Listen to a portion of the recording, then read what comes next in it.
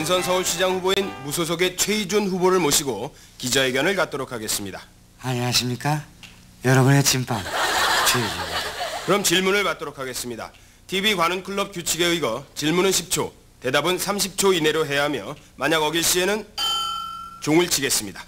여의도 신문 주 기자입니다. 최준 후보는 서울시장 선거에 출마한 특별한 이유라도 있습니까? 아주 좋은 질문 해주셨습니다. 아, 제가 부른 노래 중에 아, 팔도강사라는 노래를 부른 적이 있습니다. 물론 영화 주제곡이었죠. 아, 그 영화처럼 서울을 활기찬 서울, 명랑한 서울을 만들도록 하겠습니다. 아, 팔도의 중심지가 바로 서울 아닙니까? 아, 그런 의미에서 팔도강사라는 노래를 제가 들려드리겠습니다. 서울을 떠나 부산을 지나 대구를 지나 광주를 지나 구경 한번 잘했네. 아니 30초가 안 된 걸로 알고 있는데요. 그건 서수남 하청일의 발도 유람입니다. 아 잠깐만요. 찾았다. 서울방송의 안 기자입니다. 선거운동에 특별한 전략이 있다고 들었는데요. 그에 관해서 좀 알려주세요. 네. 에, 서울은 에, 하숙생이 약 12만 명이 살고 있습니다. 하숙생들이 모여 사는 곳에 제가 일일이 찾아가서 이런 노래를 들려줄까 합니다. 인생은 나그네길 어디서 왔다가 카메라 선생 제 선거 전략이 어떻습니까? 여기입니다. 최 후보는 선거 구호로 둥근 서울이라는 두리뭉실한 구호를 정하셨는데요. 그 속뜻을 좀 알려주십시오. 네. 서울은 문제가 왜 있느냐? 서울은 모든 게 뭐가 나 있다고 생각됩니다. 그래서 둥근 서울을 만들기 위해서 상당히 노력을 하도록 하겠습니다. 그래서 제가 캠페인송도 하나 만들었습니다. 찐빵 같은 내 얼굴 둥글기도 하지요. 걷어 둥글 입도 둥글 서울도 둥글 감사합니다. 방글라데시 타임즈의 가 기자입니다.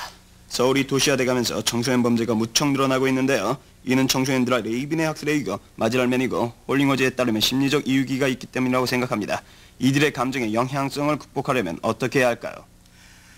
그러니까 청소년은 청소년답게 에, 어른은 어른답게 그게 말이 됩니까? 아 이거 머리에 지진 나네 서울시장 후보 사퇴하고 에, 찐빵 가게나 할랍니다 괜히 나오네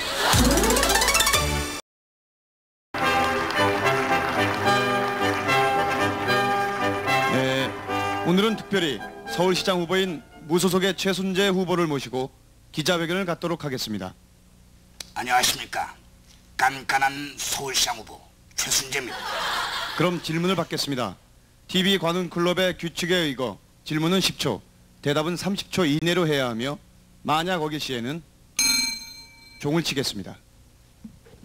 여의도 신문 주 기자입니다. 최순재 후보는 선거 구호가 건강한 서울이라고 들었는데요. 특별한 이유라도 있습니까? 네, 좋은 질문입니다. 에, 서울은 모든 문제점은 건강하지 못하다 하는 생각이 듭니다. 이 건강은 단순한 육체적 건강, 마음의 건강뿐만 아니라 정신적 건강 다 포함되어 있는 겁니다. 그래서 저는 건강을 위해서 물을 꼭꼭 씹어 먹습니다. 이 물에는 여러 가지 물이 있는데 광천수, 육각수, 좀. 그 땡소리 한번 크다. 30초 안에 대답하는 것도 요령입니다. 서울방송의 안 기자입니다. 서울시장에 출마한 모든 후보가 선거 공약으로 교통 문제 해결책을 꼽고 있는데요. 최순재 후보도 그러하신지요? 교통 문제 해결책으로는 웬만한 거리는 걸어 다녀야 된다고 생각합니다. 그래서 저는 제 아들 보고 꼭꼭 걸어 다니라고 강조를 합니다. 제 아들 대발이는 얼마나 걸어 다녔는지 발이 이만합니다. 예, 대봐라. 이발 한번 대봐라. 여의도 신문의 사기자입니다. 또 하나의 선거 공약으로 우리 것을 찾자를 드신 걸로 아는데요. 어떤 점에서 그걸 공약으로 정하셨는지 궁금합니다. 네, 우리 것 무척 중요합니다. 요즘 젊은이들한테 자네 본이 어딘가 하고 물어보면 서독에 있는데요. 이렇게 대답하지 않나? 또 자네 무슨 판가? 이렇게 물어보면 전 학구판데요. 이렇게 대답합니다. 아니 이 녀석 어른이 얘기를 하는데 꼬박꼬박 엉뚱하게 말대꾸야. 이렇게 얘기를 하면 나오는 걸 어떻게 해요? 이렇게 참 나온 아시아타임즈의 갈 기자입니다. 크리스탈러의 중심 이론과 버제스의 동심원 이론에 의거하면 서울은 더욱 초밀집되어 결국 스프롤 현상이 발생될 것이란 견해가 지배적인데요. 이에 따른 특별한 대책이 있으십니까? 그러니까 제 생각엔 추석 때. 딱 그러면은